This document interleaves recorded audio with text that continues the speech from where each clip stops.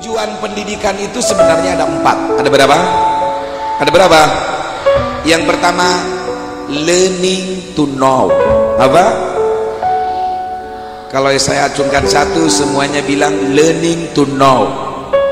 Satu, satu, learning to know, belajar untuk tahu.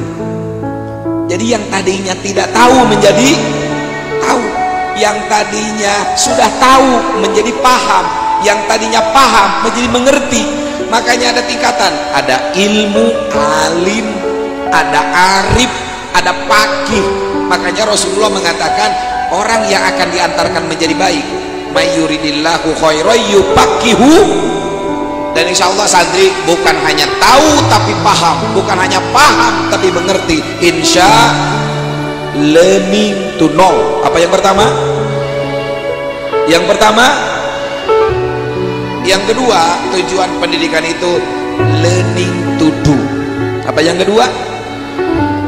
Yang kedua yang keras. Yang kedua yang kedua belajar untuk diaplikasikan. Jadi bapak ibu pesantren tidak bangga kalau anaknya ranking satu tapi berjamaahnya tidak ada. No pesantren tidak bangga kalau anaknya pinter matematika tapi koret. Tidak. Karena belajar di pesantren learning to do belajar untuk diaplikasikan.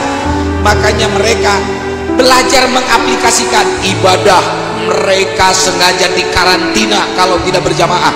Kalau tidak ngaji mereka dikeem di kolam-kolam. Bapak ibu paham. Paham nggak jadi itu bukan menyiksa itu pendidikan agar mereka belajar mengamalkan ilmu. Karena kata Rasulullah al ilmu dunia wal akhiratu minhul amal. Ilmu itu dunia. Yang menjadi nilai akhiratnya adalah amal. Learning to do learning to do learning to do yang ketiga learning to be. Apa yang ketiga? Tiga santri putra masih loyo. Tiga. Tiga.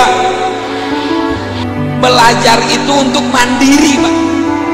Belajar untuk makanya di sini tidak ada anak bos.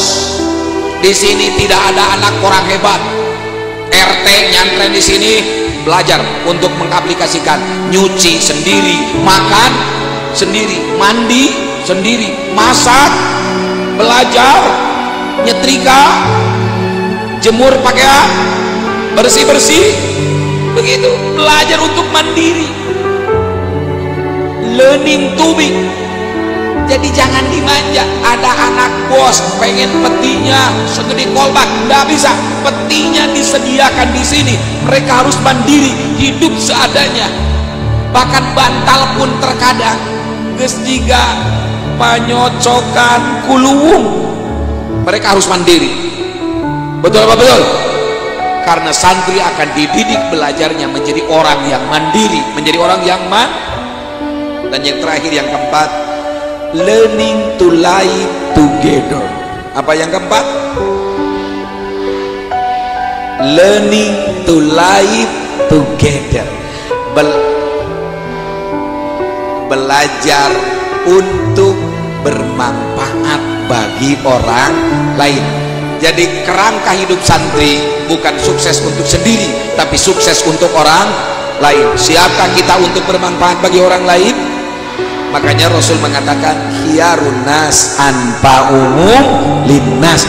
Manusia terbaik adalah manusia yang paling bermanfaat bagi manusia. Itulah empat target pendidikan miftahul huda.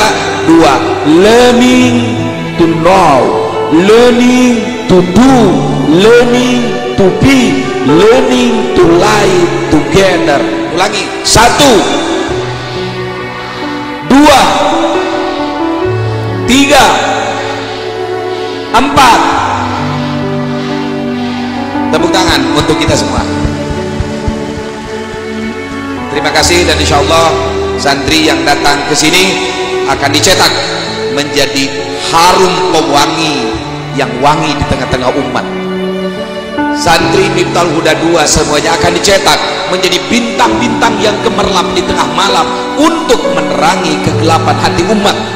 Santri yang datang ke sini akan menjadi matahari zaman yang menjadi sinar dan energi di tengah-tengah umat.